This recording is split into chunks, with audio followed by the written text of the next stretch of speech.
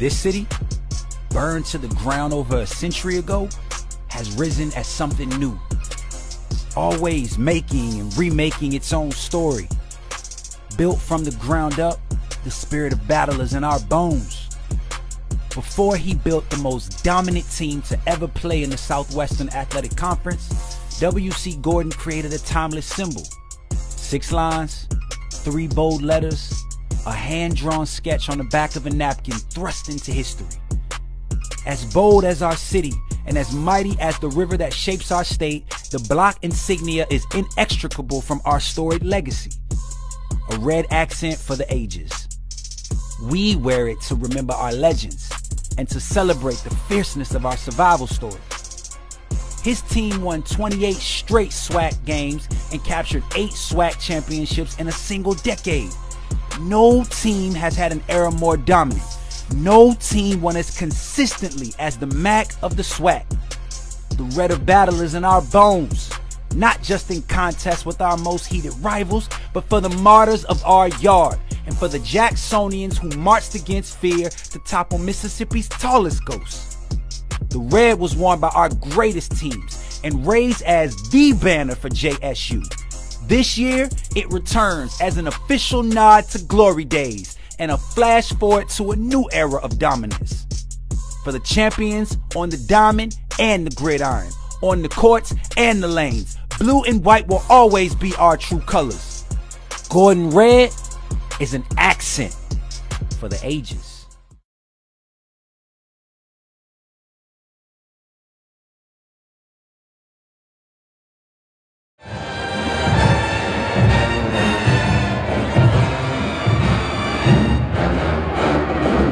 Tiger fans, welcome to episode 180 of the official Tiger Talk with the 1400 Klub podcast, bringing you all the latest news, updates, and buzz surrounding your mighty JSU Tigers. I am the Corey C. Be sure to download and subscribe to the podcast to be notified of every new episode. Apple Podcast users, rate and review the show. And everyone, follow Tiger Talk with the 1400 Klub on Facebook and Tiger Talk 1400 on Instagram and Twitter. It all helps the cause, which is the I love, Jackson State University.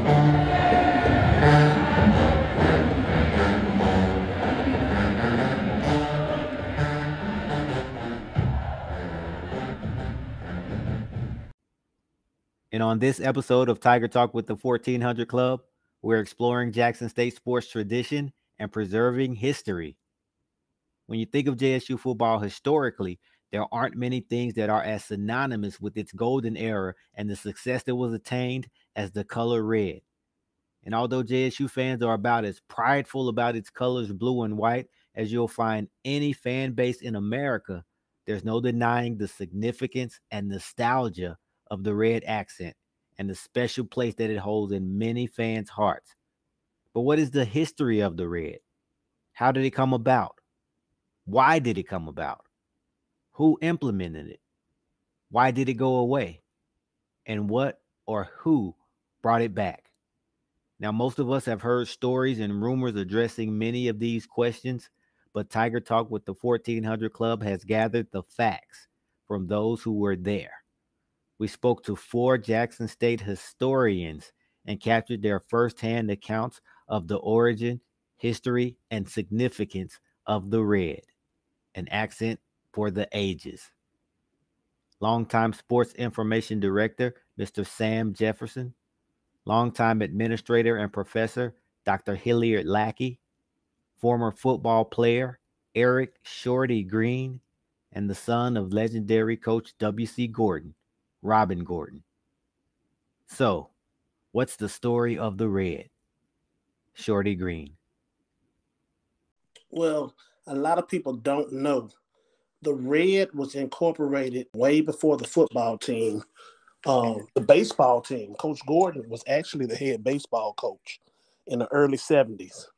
And if you look back at some of those pictures, and they'll remind you, they have red in their uniform one of the reasons that he put it in there, and it was very symbolic. he said red had had courage and vigor. You know, it, it reminded him of life. You know, kind of like the blood flowing through, and it was red was very appealing to the eye, and it added a little pizzazz, a little fire, a little life. Dr. Lackey.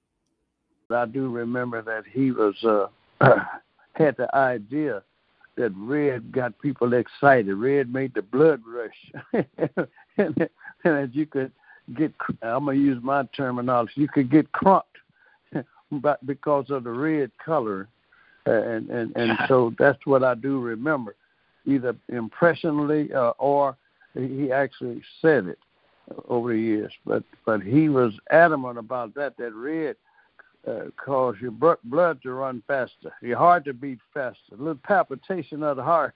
and like I said, from the early 70s with the baseball team, first having some red incorporated into their uniforms. Coach Paul Covington added a little red in the basketball. The track added a little bit. So leading up to 77, Coach Gordon's first full season with uh, the football team, he incorporated the red into the football uniforms, and the rest is history. Robin Gordon. Yes, uh, that was an ideal uh, of the accent for that splash for the red that came from my father. But you got, I got to take you back and let you and give you a brief um, um, history, if you will, on, of my father, just quickly. My father's from Nashville, Tennessee. He's a graduate of Tennessee State and um, Tennessee State had a tad bit. They they had some red sprinkles in there. We all we almost have similar colors, but the blue of Jackson State is a richer, darker blue than the the blue at Tennessee State. But going back to my father, my father was a um, a, a, a dapper minded person. He he liked for he likes for people to be clean.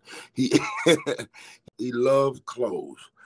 Um, he loves he, he loves shopping. I'm talking about from the from the shoes all the way up to coats to everything.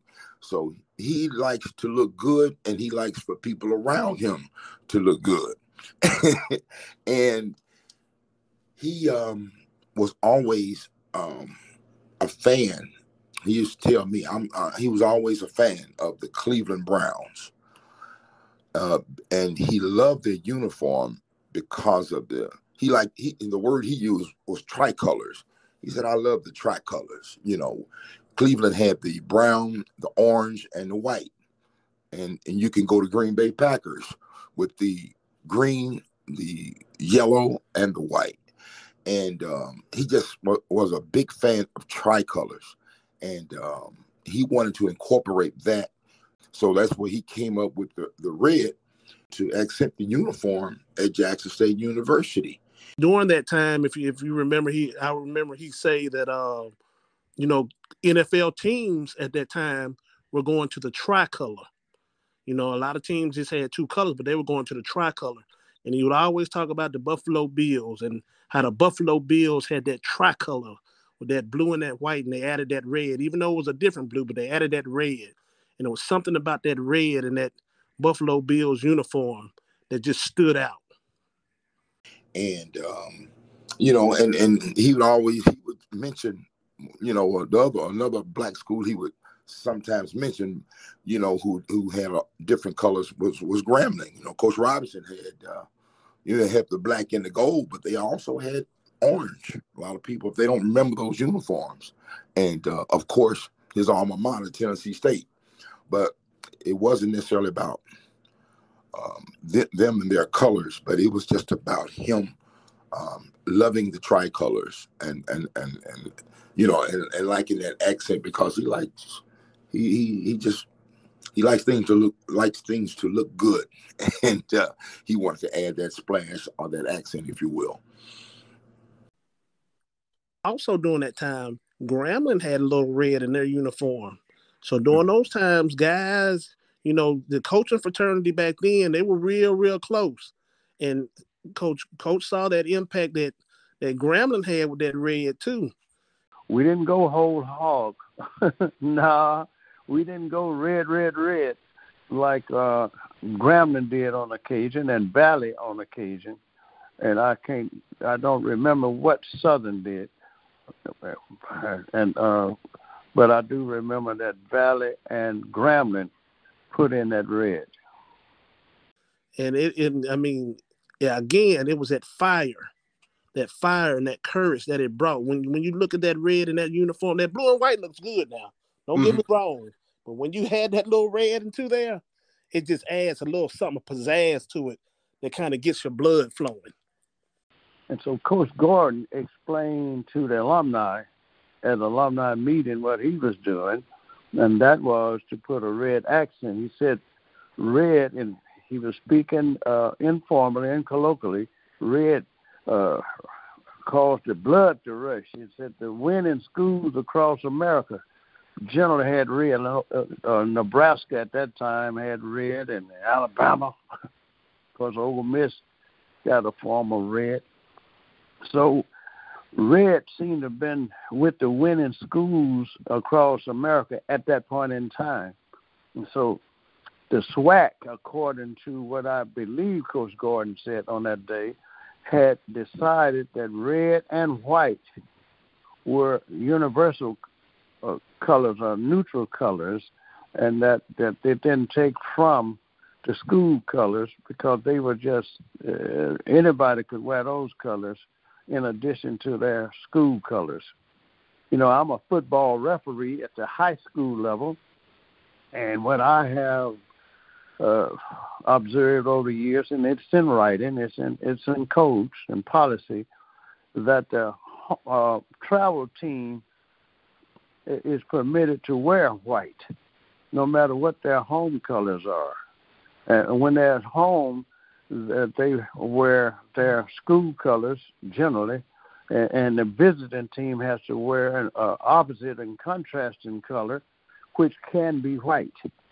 So white became uh, or is a universal color, a neutral color that any team can wear regardless of the school colors, even in high school and in college. So the SWAC is my belief. the SWAC decided that that you could uh, wear red as a neutral color, a universal color. Mr. Sam Jefferson. There were some people who didn't didn't like the idea that red was being introduced to the uniform because you know, uh, they believe our colors are blue and white, and that we should stick with that blue and white. That was a vocal group. Now, I don't know whether or not that there were a, a smaller, a larger group of people who could have been considered maybe the silent people. Uh, it could have been a silent majority. But I do know some people did not like the idea that the red was introduced. There were a couple of old alumni, and I couldn't tell you the names they went to the president who was unaware of the past history and told him that Jackson State true colors are are this. And I think the first president was uh, they went to Hefner and tried to get him to change, but uh, we were winning. We were winning year after year after year, and we had some. And this was really my he, my father wasn't gonna make a change. He said, "Look, man, this is what we gonna wear." This is what our fans expect. This is what we do. This is what we love. And, and um, but he was questioned by Hefner, I think, at the time. And um, and, and after he basically told him that, he left him alone. now, had he not been winning or something and and and, and doing poorly as far as victories are concerned, uh, he probably he may have could have pushed that, but we had he had too much going on, and our graduate the graduation graduation rate of the football players was higher than the student population, as well as the gradu- graduation rate was higher than all other institutions of higher learning in the state of Mississippi. That includes Ole Miss, Mississippi State, and Southern Mississippi for foot for football players. So we were not only were we doing it athletically, we, we were doing it academically. And he okay. did make a presentation, and I was in the audience about Red initially, because he wanted he to explain that to the alumni, because folks were a little bit perturbed or concerned at that point, as they are now, about how does red come about and what's the meaning of it. So he, he at again, I'm repeating for emphasis, said that that was a SWAC decision that red was a color that any of the schools could use in the SWAC at that point and add it to their school colors. And if you watch uh, some of the teams that are out there right now, and there are some teams that play um, that we see on television that will have on almost different color uniforms or at least different color helmets every week. I could think about Oregon. Uh, they just introduced a different helmet, a different uh, kind of a uniform. So a lot different from the way it was, say, 20 or 30 years ago. Look at your o- Oregons. Look at how many different colors and changes they they make. You know what I mean? And uh, variety is the spice of life. And uh, that was the type of person my father was, and uh, and that's the kind of the culture we have in the black community. Uh, there are only two schools I know that that's, that's have kept one traditional uniform, and that's Penn State and Alabama. Everybody else are they, they're keeping their main colors and they're evolving. And uh, that's one thing he he said too in the past. He's the only schools I know is keeping that same uniform. It's Penn State and Alabama, that same basic set. But everybody else evolves and making changes around their their basic main colors. The red would ultimately become a staple that's embedded in the fabric of Jackson State's history and tradition. But when Coach Gordon first implemented it, could he have possibly known the impact and significance that it would have? I don't I don't believe he knew that at the time. Even with him living through it and, and seeing during the height of it, I don't think he really he knew the impact that he had on the, not only just the program but Jackson State University because of that red. That red, uh, I mean, I talked to a lot of former guys from uh, Grambling, Southern, um, Valley, Alabama State, especially Alabama State, um, that played against in the in the late '80s, and some guys, some older guys from the early '80s as well. And those guys will talk about that red when Jackson State came with that red. You know, during those times, you get off the bus, you was already up 21 points because guys were intimidated by that red. And that was stuck in the mindset of, of the fans and other teams out there. Oh, here they come. And then you got the sonic boom playing in the background on top of it, and Lord have mercy. Okay, they coming down here and they get ready. We we win a lot of ball games before before it started. When we come out, we had red red uh, shimmy shirts on and stuff and uh, working out on the field. And you could see the, the, the other team, they would stop stop working out and doing their pregame and, and watch us come on the field and go through our rah rah and our pregame warm up. They just stop and start looking. And we knew right then, we looked at it and we going back in the locker room put on our full uniform. Man, did you see them kids looking at us? I said, yeah. He said, they scared already. We game already won. So it was a mindset. Coach Gordon did say to me directly that that face mask, uh, when that got got when the uh, lineman got down into their stance, and, and that face mask was across that uh, line of scrimmage, it put the fear of God into the hearts of the opposition. so wow. he was adamant about that that little red beam there uh, at that point in time. Just that accent. He wasn't talking about the, the socks or the stripe down the leg or something like that. He talking about on that helmet. he, that that red in that helmet, he could see it. He said when that when they get in that three point stance, ah yes, they were playing Jackson State, baby. They had to tremble. but when he first developed it, him thinking that this would be such a big deal and a staple, no, not at all. He um he he came to me and he was always the type to like sit down.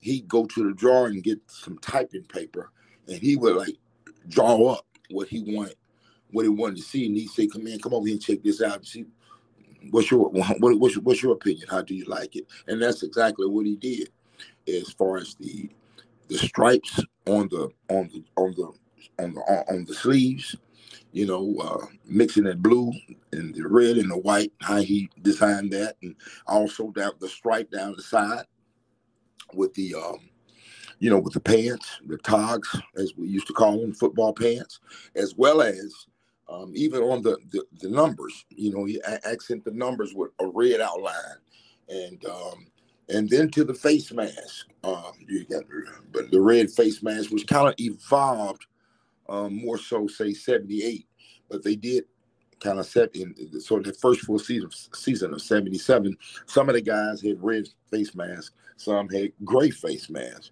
but by 78 everything was full blown and everybody had the red face mask and 78 you got people like jeffrey moore and tony harris and man those cats were um, they were sharp sharp dressers themselves and uh, man, so they they put red in the socks, and uh, as time evolved through the through the mid '80s, man, guys, you know, we wore the spats.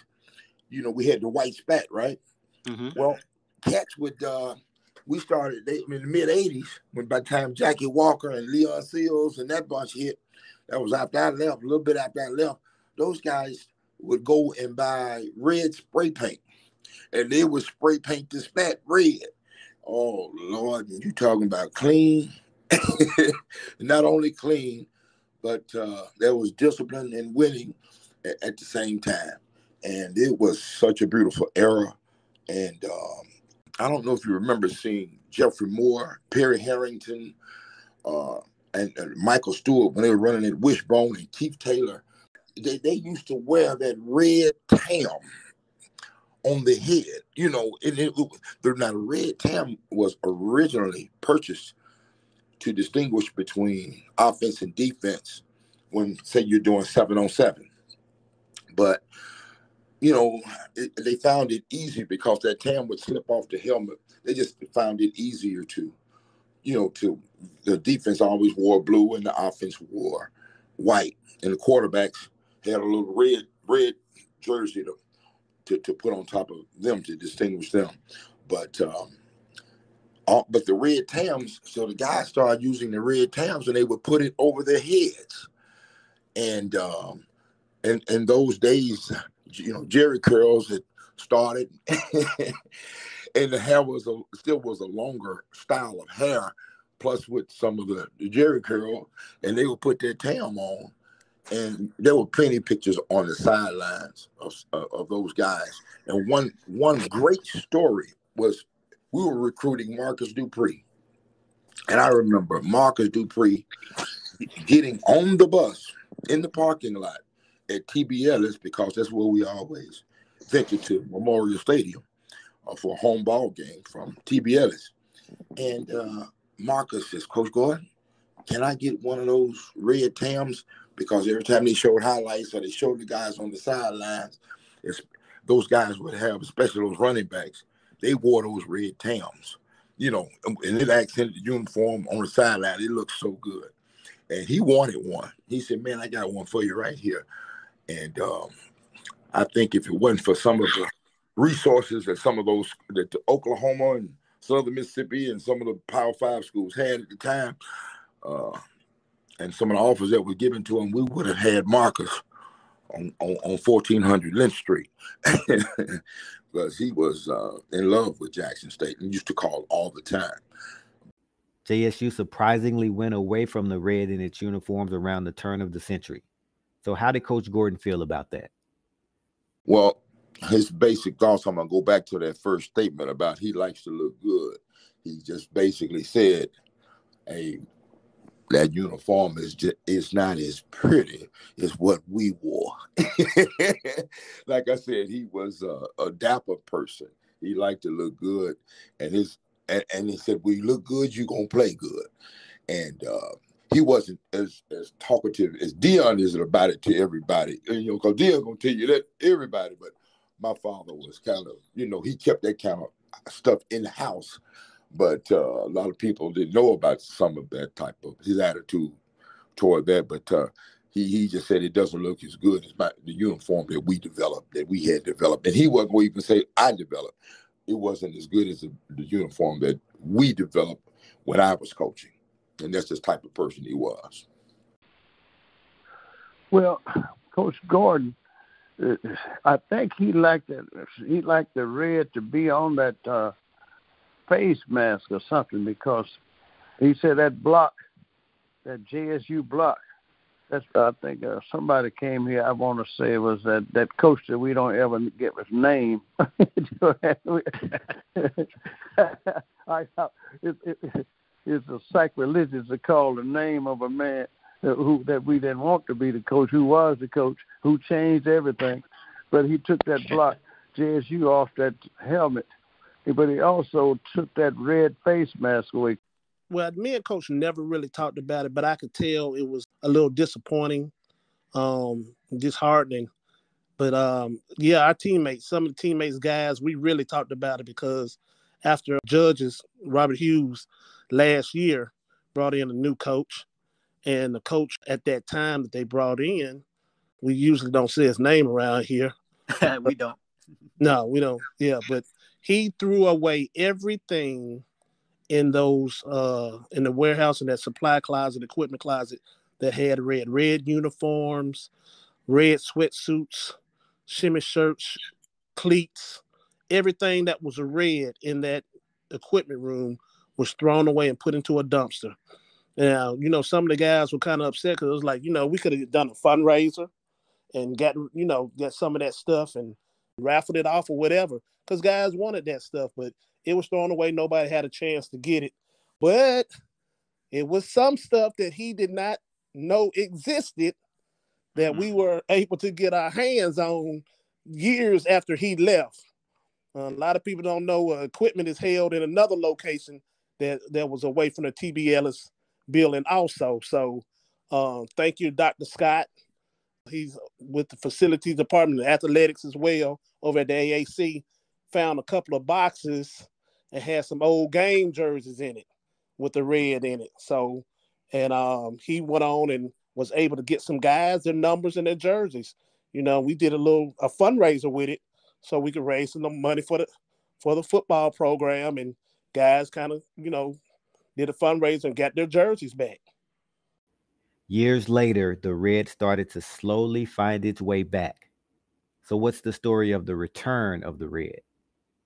Well, the we, we kind of pushed. I know towards a couple of seasons ago, uh, we would have games like the Alcorn game where we'd be like, hey, gotta have some red accent. You'll see some guys with gloves, uh, guys with towels and socks and stuff like that and the cleats and wristbands that started coming back and bringing that red back. You know, we bleed that blue boot, that uh, original blue and red is what we would call it. And um, when that when it we started doing that, it added a little spunk to coach. You know, it, it wasn't disheartening anymore, but you know, it was what I would call an affirmation that you know this is this is what we are. This is where we where we were. This is this is who we are. And it was a, it was you know very affectionate you know, coming from the guys because that's what that's what some of the guys knew coming in, and that's all we grew up on with that with that red as well. So he was very pleased that they were trying to incorporate it, even though it was not a official co- color. But he was pleased that they were trying to incorporate it and bring it back. You saw defensive backs because I'm a detail guy too. I saw DBs out there with, you know, you put on the red stockings and you put the you know you fold the stockings over top of your white socks and red uh, wristbands uh, you know and and start accenting it with with, with with with that red in there you know with socks and, and like i said in wristbands and other little uh, things that you can put on your uniform. And it and it just started taking back off. So yeah i noticed it. And uh, it wasn't per se in the in the football pants or the the helmet or the um or the jersey but the guy started, you know, you like I say, you can see it in the other some other pieces that they would add themselves, and it just took back off. And what did it mean to Coach Gordon to see the red start to make its return? Oh, he was very prideful. He loved it. Um, they started wearing it for the WC Gordon Classics. You know, when they had a WC Gordon Classic, they would wear red. And like you said, it slowly merged into more than just that game and some you know some of the players the players would pick certain games throughout the you know in in the 2000s uh, and, and, and they would wear red, and you're like, oh, they actually did red tonight, even though it's not the classic. So more and more it came back, but his feelings on it was, hey man, it looks nice, it's pretty. It, it you see what it does, that accent does to the uniform. So his whole deal was, yes, he was prideful about it, but it wasn't him saying, yeah, I did it. He just he just thought it, it looked good. It looked good for Jackson State University. It looked good for the football team. And, you know, like I said, on the onset of bringing it on, we were beating people down. And he said it makes you go back and remember that, that intimidation and that power, those powerful teams that we had in the uh, uh, in the 70s and 80s and early 90s. So, hey, that's that's that's basically was his his feelings about it. It just it looks nice. He, he was about to look, right, and, and, playing well behind it. Coach Gordon figured that red uh, was a, an impressionable color, and it it it, it sort of uh, uh, put put the uh, players and fans, for that matter, into another level, uh, elevation. elevated their interest, hiked and and and uh, and enhance their interests and their spirits. He thought so. I would imagine that Coach Gordon would have uh, loved to see that red. I, that's what I would imagine. And, but I never had that conversation with him about an entire red uniform, only the accent.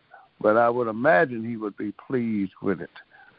Oh man, he was grinning from ear to ear. I could see him grinning from ear to ear and uh, that was that was really that was real nice um, with the accent of the blue and the white. But that was real nice to to let you know let it be shown that you know the love and admiration that people had for Coach, and it still goes on. You know, that's a that's a legacy that he started, and um, we just want to keep that legacy going on. Uh, we have a coach on staff now, Coach Prime, who um, has brought red back into the uniform, not just a, a, as an accent color. Um, completely red uniforms on sometimes, at least a red color, red top, a red bottom, or just all red, I think. And you, you know, my father died this past October 23rd of 2020. And then uh, his mind wasn't as strong as it as it was. But you know, when when when Coach when was Coach Sanders' name? Um, September 21st. September 21st. One month before your father died. One month before he died. So he was able, he had days where he was able to mentally capture what was said. And he he heard his name at the press conference. So, you know, when when, when they came into the AAC, and so he paid homage uh, to my father. And um, only thing I regret, I I, I, I would have loved for Coach Sanders and my father to have met and I think Coach Sanders was respecting the fact that he knew my dad was uh, kind of sick, and um, he didn't want to, you know, he just may not have just wanted to come over, but it would have been nice for him to have come over and met uh, them to have actually met each other personally, which never happened, but it's okay. Uh, he's met him through all the tradition that you see uh, when you walk into those football offices and all the and, and, and stories I know he's he's heard. So you know, it's okay. It's okay. And we cannot talk about JSU tradition and talk about the red without talking about the block. Well, Jackson State actually had an oval shape. It was kind of shaped like a football on the side of the helmet, and it had the JSU from JSC to JSU on the side.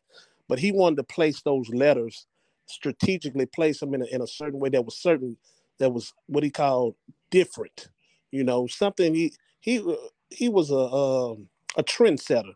You you never had anything that kind of looked like that. You never seen any other helmet. You seen helmets with the letters that go across the the helmet and stuff but you never seen the block and you never seen it stacked like that. And he did his homework on that. He wanted to have something that was very unique something that would stand out uh, away from everybody else. He could have easily put a big J on there. He could have gone with just a, a JSU on the side, but to stack those letters, he said, By stacking those letters, it was something unique. It was something different, and it it, it was again, it, it caught your eye when you saw it. It was appealing to the eye, and when you look at it and when you see it now on those shirts and you see it on the hat, I mean, it's no question. When you see that, no matter where you are, you know that's Jackson State right there the block was just a wonderful thing. It it it, it came along at the time that we were really Jackson State. We were dominant. we was growing as a university, and the football team were whipping up on folks, and the basketball team were doing what it does, and and you know the golf and all. We was on a roll when the block came along, and so the block just became a a, a fixation and and it related so much to the times that we were having. And and, and so i that's one thing. I don't care if the times always change. I'm i'm going to stick with the block as my favorite. I like that. And i'm not going to change. I refuse to change. I won't change with the times With that i love that block baby i know that coach gordon introduced the block letters especially with the helmet design um, when he got and, and like i said earlier um, when each coach comes on, uh, when, when when the university gets a new coach, they like to add their signature to what to something that they do, and and the block letters on the helmet was Coach Gordon's signature, and, and it just stuck. I don't remember people uh, complaining about it. I, I, I do remember uh, one media representative, and I can't recall exactly who it was. They thought it was a bland looking helmet bland, you know, not not nothing uh, uh, um, exceptional or anything, but it stuck. People liked it. We've had it. I know, I believe, since the mid '80s. Uh, when that, I remember we put it on the cover of the uh, the, the brochure. I believe it may have been late '70s uh, when we came out with that block JSU on the helmet and and it's stuck and you see it on our, our, baseball caps and things like that. And a lot of people wear the block letters. He hand drew that on a on a on a napkin. He did. He did. That was the prototype right there. He would sit down and he, he was trying to draw a different logo. At that time, we kind of had the football shape logo that said JSC, Jackson State College or JSU, and and on, the side of the helmet and then he developed. Uh, he he came up with a couple of designs. He said, "I don't want that J in the middle." with an S and a U to the side. You know, the J being big, like uppercase, and the S and the U to the side, kind of like you got TSU, T in the middle, S to the to the left, and C or uh, the U to the to the right side. And uh, he didn't want, you know, he said, "Man, that, that looks too much like them. We need something new." So he just kept drawing stuff, and then he came up with the the J in the front and the S and the U in a in a block style. And he said, "I think I'm gonna go with I think I'm gonna go with this, Robin, and I think we want to make that uh, that like a, a, a, block block a rectangle, and we want to make that." Uh, red, accent that red, and we also gonna put the same type of stripe design that we have on the on the shoulders and the pants we're gonna put that on the helmet too, down the middle. And I says, Wow, I'm I like it. I think that's gonna be sharp. And he did it. And uh and I think the rest you can almost say is history. And history it is. This episode is in loving memory of the legendary Coach W.C. Gordon. May his legacy live on forever through the JSU block and Gordon Red.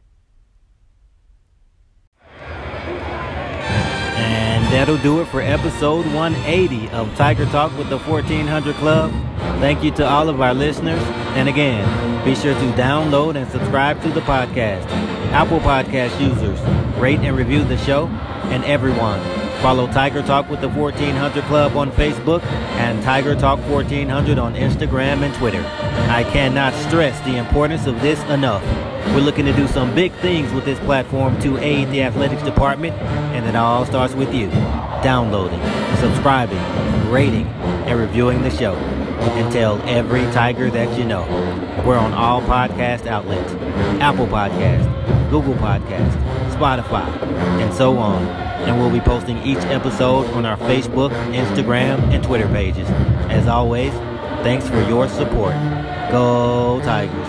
Hashtag Thee I Love.